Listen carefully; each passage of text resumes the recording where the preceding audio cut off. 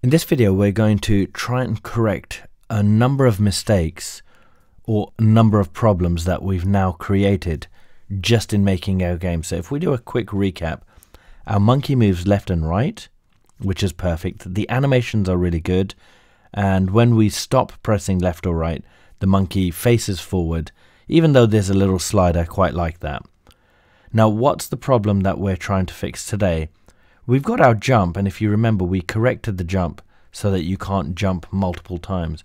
But one of the big problems that we've created is that when you jump, the monkey is allowed to actually fly across the screen. And this is going to become a problem because it's a platform game, which means when we jump, we need to land on platforms. And this kind of crazy flying through the air is just not going to help us. So what we need to do is fix that mistake first of all, and then we'll deal with the animations in the next video because of course, when he jumps, he's kind of moving his legs. So let's first fix the problem of this ridiculously long jump. Let's go back to our code, and if you can see, the first thing I'm going to correct is I'm actually going to take our left and right movement and I'm going to make them 1.1 so rather than 2 so if I again test this game I think when we added or minus 2 from the x velocity it just makes our character move too fast.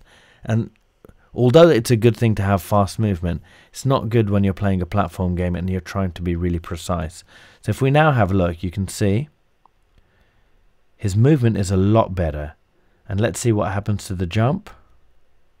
Yeah, the jump is still too long. So what we're going to have to do is figure out a way that when he jumps in the air, he doesn't travel so fast forward. So what we're going to have to do is figure out how to put into code what we just said in words. So I think we're going to need an if, like so. And what we're going to do is figure out how to slow down the monkey when he's in the air and not touching the ground. And that's the answer, I think, because we already know when he's touching the floor with our touching floor boolean attribute, we can now figure out when he's not touching the floor.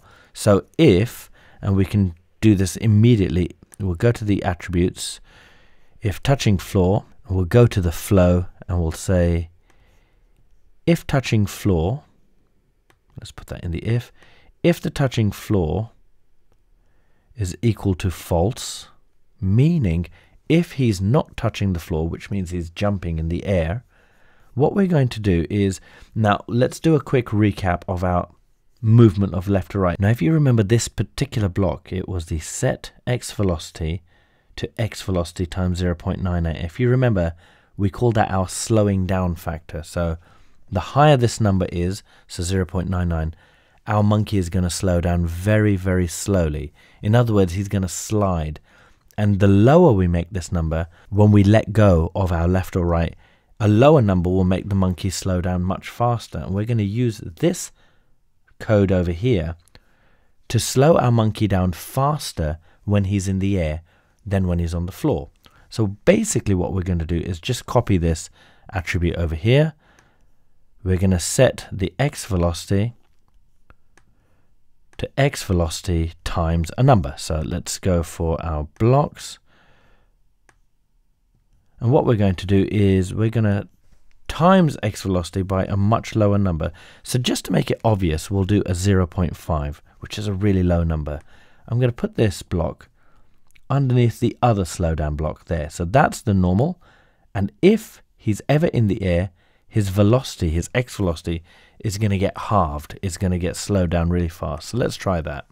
And you can see that when I jump, because we put 0.5, he's not allowed to jump forward at all. So obviously that number is way too low.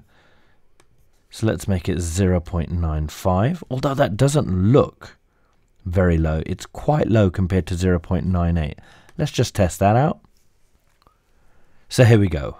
We're going to jump. And that's a lot better because although he jumps, he is not allowed to jump all the way across the screen. So it's kind of feeling much more like a platform game. And there we go, he's jumping. Now, of course, we can adjust that.